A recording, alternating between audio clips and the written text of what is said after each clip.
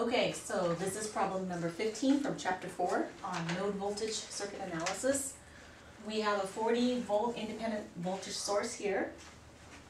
And it's in series with a three ohm resistor and a one ohm resistor. And that is parallel connected to 40 40 ohm, um, which drops a V one, some kind of voltage V one. There's a two ohm resistor here, a four ohm resistor here, and that drops some voltage drop, V two. And here, this has two ohms, and that drops some voltage, um, some voltage V three. And this is all connected in parallel with an independent twenty-eight amp current source. Now, um, we wanna use the node, we're instructed to use the node voltage method to solve this problem.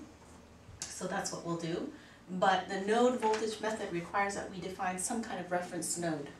So, um, which node should we take as the ground? We're gonna take the one that makes the most sense. So, since they've already asked about this voltage drop, this voltage drop, and this voltage drop, it would make sense to either make this or this the ground node. Now notice that you can make anything, I can make this the, the reference node, this the reference node, anything, and the mathematics will always work itself out, and you'll get the same, um, well, you won't get the same because with respect to, um, it's all with point, with respect to something. So, but where it makes sense is right here, because this is going from positive to negative, this is going from positive to negative, they meet here. So my math will be most simple if I take that to be the ground node.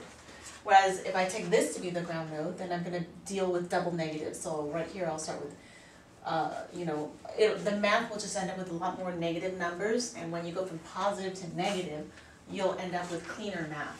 So that's gonna be my, um, my, uh, my point of reference, so this is V one up here, this is V two over here, and V three is right here. Starts right there. Okay, so now let's use the node voltage method to find three equations and three for our three unknowns. So node voltage at V one node. That's gonna give me V one minus forty, V one minus forty, and be careful not to say V one minus forty over three. There's this one ohm resistor here. And when they're all connected in a series, they're electrically the same. Um, it's not like the current is, the voltage is treating this as two separate resistances. Um, they are, but at the same time, electrically, when you're calculating current, it's like, this is really four volts.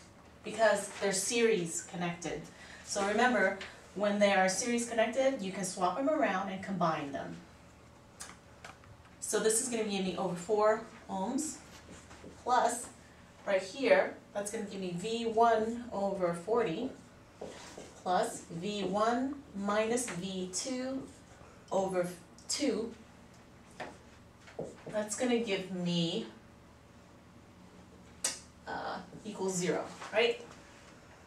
Now I'm gonna write my first equation, gather, um, write my first equation for uh, my matrix. So I'm gonna group all my V ones together.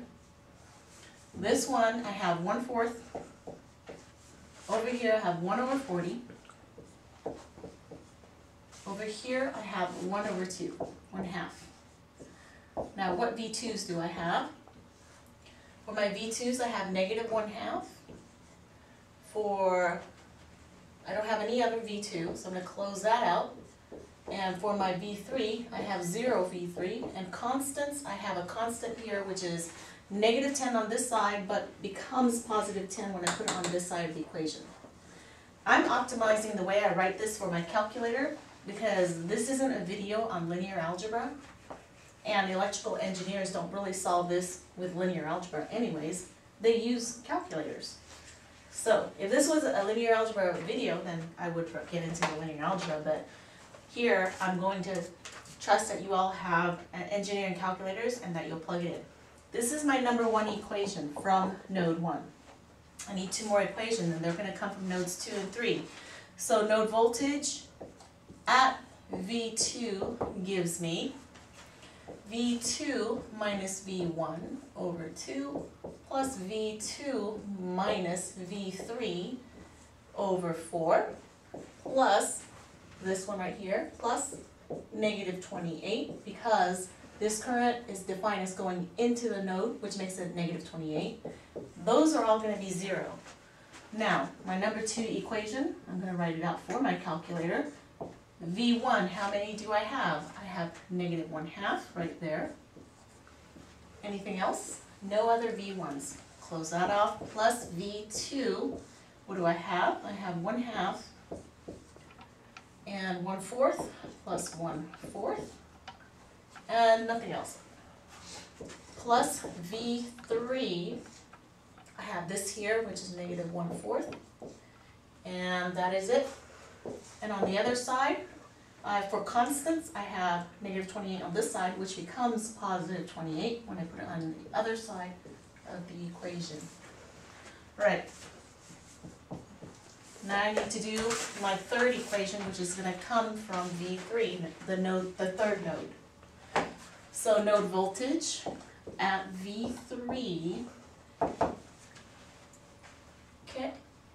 so remember, when I'm doing my node voltage equations, I'm going to the third node and writing down and doing KCL, which means I'm finding all the currents that is leaving the node and the sum of it has to be zero.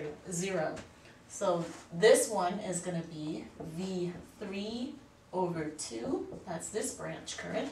This branch current is V three minus V two over four. And this branch current is just the twenty-eight. Since this is defined as going away, it's already positive, so we put plus twenty-eight. All of those have to equal zero. Over here, I gather up my variables. V one, I have zero V one. V two, I have, uh, right here, negative one fourth. Plus, anything else? Nope. V three, I have one half plus one fourth, and then constants. This is gonna go over to this side of the equation, which makes it negative twenty-eight. Now I have three equations and three unknown, and when you put it into, and I'll just, before I say that, I wanna check, make sure I did not make mistakes. One fourth, one forty, one half, negative one half, zero, ten, negative one half, one half, one fourth, negative one fourth, twenty-eight, four, negative one fourth, one half, one fourth, twenty-eight, negative twenty-eight. Okay, when you do that, you should come up with V one is equal to sixty. V one is sixty volts.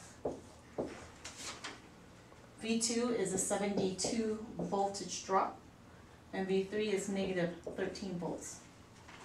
Okay, now, the second part asks us about power dissipated by the forty volts. So remember, P is equal to VI. The question is, is this forty volt? Um, you have two independent sources, right?